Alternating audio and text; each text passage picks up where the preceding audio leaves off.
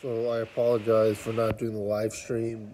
Uh, hopefully I'll get this done before the episode ends, but I just couldn't stream off my phone for whatever reason.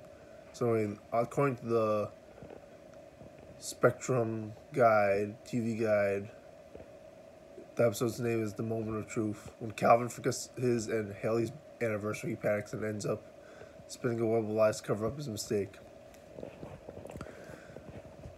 I don't know why they had to have monsters in this episode. It made it worse. I Ron, I forgot his name.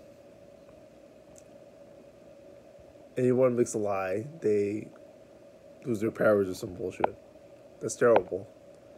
And once I found out this was the monster's power, I was like, this is terrible. I don't know why the monster's powers had to that. Like that's like when you're trying to be an auteur, but you're really failing. The acting is very good. Uh, everything else in the episode is pretty good. I don't know if Monty and Victor had to be in this episode.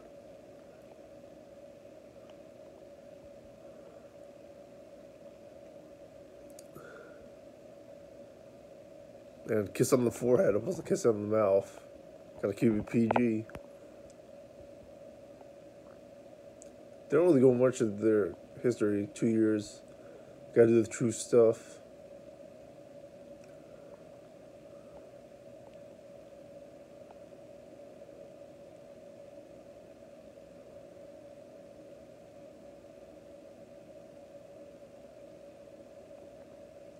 I don't know why he had to do the revelation of, oh, I gotta tell you the truth the whole time. One thing is, you don't have to tell the truth the whole time. The second thing is, well, you gotta do it in front of everyone else.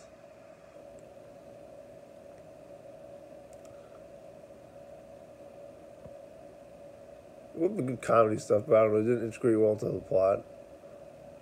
They don't do anything with the Red or Gold Rangers. At least they made it less about the school, which was sort of dragging on the show, and instead just made it about the Rangers. It was pretty cool.